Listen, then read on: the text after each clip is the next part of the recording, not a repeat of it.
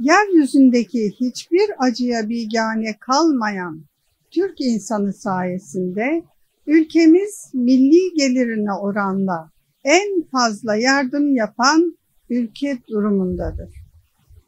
TİKA, Yunus Emre Enstitüsü, Yurtdışı Türk Topluluklar Birliği, Marif Vakfı, AFAD, Kızılay gibi kurumlarımız kardeşlik köprüleri kurmaya devam etmektedirler. İnsanlığı tek bir aile olarak gören ülkemiz, kendi vatandaşı gibi sığınmacılara, mültecilere ve bütün mazlumlara şefkat elini uzatmaya devam edecektir.